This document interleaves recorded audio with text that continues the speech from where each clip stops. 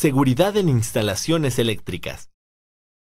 Al trabajar con maquinaria o instalaciones eléctricas, tu deber será verificar que su operación y mantenimiento sigan las medidas de seguridad para evitar un accidente. Además del equipo básico de protección, debes hacer uso de los guantes dieléctricos especiales para la tensión eléctrica con la que vas a trabajar.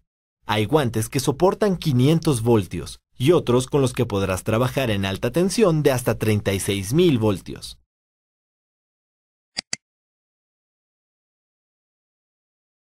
Los candados de seguridad son dispositivos que se colocan en los centros de carga de un equipo desenergizado para evitar que se opere sin autorización. Cada candado se identifica con una tarjeta que contiene los siguientes datos. Nombre del encargado de mantenimiento, fecha de colocación, equipo que se bloquea, área de la persona que lo bloquea. Cada persona de mantenimiento que trabaje en el equipo o instalación debe colocar su propio candado y llevarse la llave. Así se podrá identificar fácilmente la cantidad de personal involucrado en el proceso. Antes de iniciar el mantenimiento, toma las siguientes precauciones. Verifica que el equipo no realice algún movimiento cuando el interruptor esté apagado. Si lo hace, significa que el centro de carga que corresponde al equipo aún está energizado. Ubica el centro correcto y desconéctalo. Usa un probador de corriente o angelito cuando tengas duda de si un cable está energizado o no. Este encenderá su luz cuando detecte la energía eléctrica. Al término del mantenimiento, cada persona debe de quitar su tarjeta y su candado de seguridad para probar que el equipo no tenga fallas.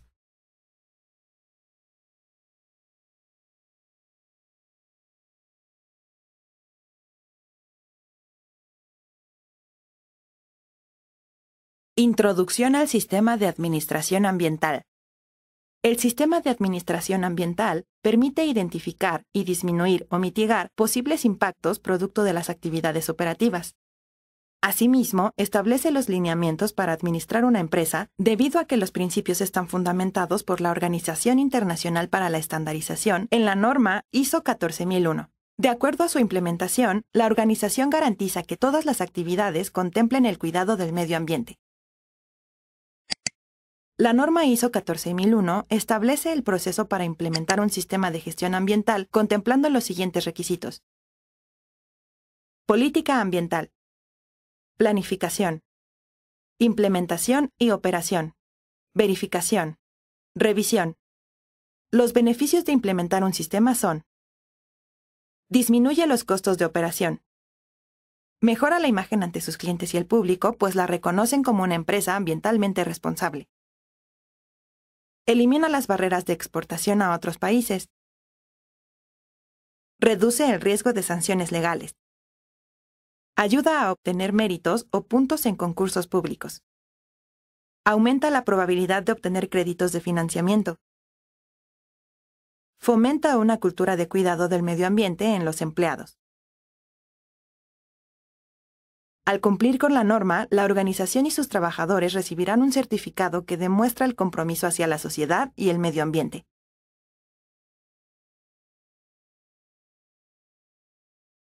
Con la implementación de la ISO 14001 contribuimos como organización en el cuidado de nuestro planeta.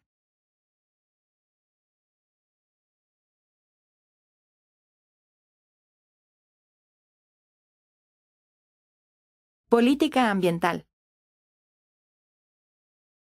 Una política ambiental es un documento creado por alta dirección en donde se definen y expresan los principios y objetivos ambientales de una empresa. La política ambiental debe ser difundida en los diferentes grupos que interactúan con la empresa, tales como los empleados deben ser capacitados para conocerla y entenderla. Los visitantes pueden ser informados con carteles o folletos. Las comunidades pueden ser alcanzadas a través de foros públicos y reuniones privadas. Si la organización así lo decide, los medios de comunicación son notificados durante una conferencia de prensa. Una política ambiental debe escribirse con claridad para que cualquier persona pueda entenderla, tanto personas ajenas a la empresa como sus trabajadores. Se deben distribuir copias a todo el personal y colocar la política ambiental en las áreas de trabajo. La política ambiental de una empresa debe cumplir con las siete condiciones de la norma ISO 14001. Ajustarse al tamaño e impactos ambientales de sus actividades. Incluir un compromiso de mejora continua y prevenir la contaminación. Incluir el compromiso de cumplir con los requisitos legales que intervienen en sus aspectos ambientales y otros a los que la empresa se suscriba, como Industria Limpia de la Procuraduría Federal de Protección al Ambiente. Proporcionar el marco de referencia para el planteamiento de los objetivos y metas ambientales. Ser documentada, implementada y mantenida ser comunicada a todas las personas que trabajan en la organización. Estar disponible para todo el público. A partir de esta política se pueden plantear objetivos y metas para etapas administrativas posteriores.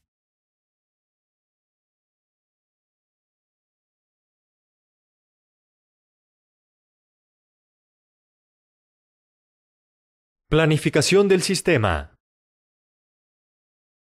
En esta etapa, la empresa analiza su relación con el medio ambiente y anota los resultados en un documento público.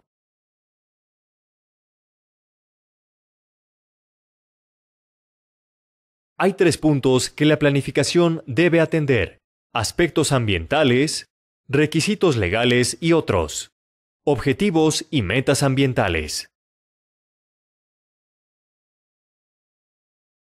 Los aspectos ambientales son los elementos de las actividades, productos o servicios de una empresa que interactúan con el medio ambiente. Se clasifican en seis puntos. Consumo de materias primas y recursos naturales. Emisiones de polvo, gases, humo, vapor, entre otros. Residuos. Ruidos. olores y afectación de suelos. Para reconocer todos los aspectos ambientales, la organización debe considerar aquellos que ocurren durante las siguientes condiciones de operación. Normales, anormales, emergencias y accidentes. Los aspectos ambientales más importantes son aquellos que representan un riesgo ambiental alto o los que tienden a satisfacer algún otro lineamiento dentro de una norma. Después de identificar los aspectos ambientales, hay requisitos legales que la organización debe cumplir, nacionales o internacionales, estatales, provinciales o departamentales, y gubernamentales locales. Todos deben cubrir los requisitos. La falta de uno pondrá en riesgo la realización del proyecto. Los objetivos son aspiraciones propuestas por la organización y están relacionados con los aspectos ambientales identificados. Los cuatro puntos que deben atender son cumplir con la legislación pertinente, prevenir la contaminación, mejorar continuamente y atender a las partes interesadas. Las metas, en cambio, son las medidas o acciones concretas que se toman para alcanzar ese objetivo en común.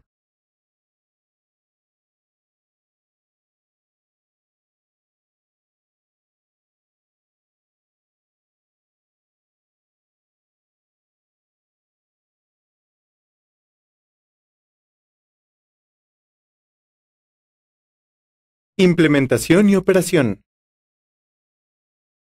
es la puesta en marcha del sistema de administración ambiental. Con base en la ISO 14001-2004, existen siete puntos básicos, los cuales son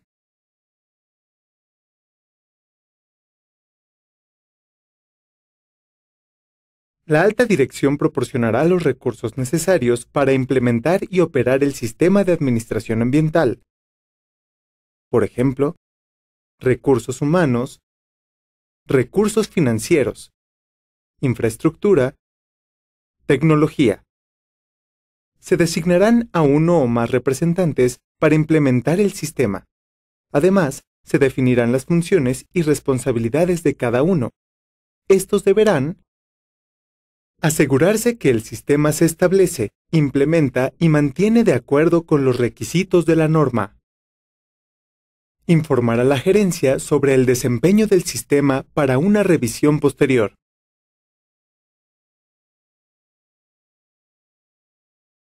La empresa debe capacitar a sus empleados para entender la importancia de cumplir con la política ambiental, conocer los requisitos del sistema de gestión ambiental, ejecutar sus funciones y responsabilidades dentro del sistema, entender los impactos ambientales que provocan sus actividades.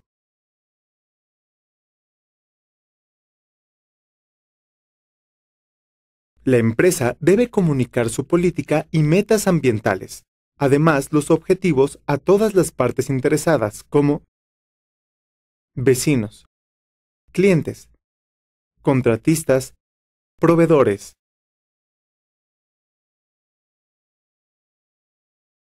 La información de sistema se debe mantener ordenada e incluir política, objetivos, metas, alcance, elementos principales del sistema de gestión, registros determinados por la organización necesarios para asegurar eficiencia en la operación. Lo importante es que se encuentren disponibles en cualquier momento para las partes interesadas.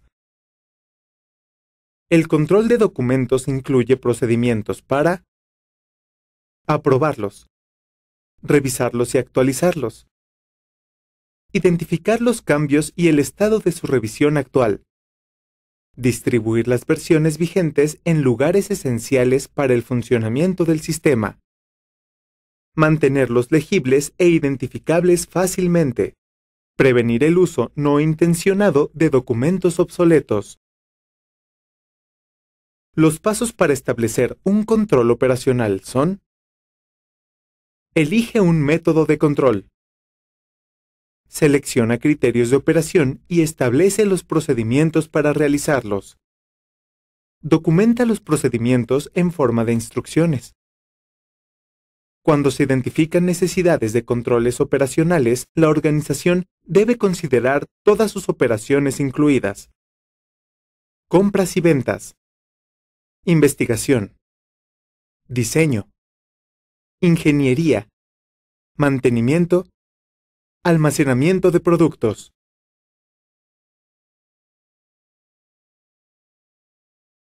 Cuando existen aspectos ambientales significativos, la organización debe definir acciones para prevenir situaciones de emergencia, como incendios, inundaciones, derrames de sustancias peligrosas. Para comprobar la eficacia de los planes de respuesta existen dos opciones. Pruebas periódicas como simulacros, pruebas ante emergencias reales.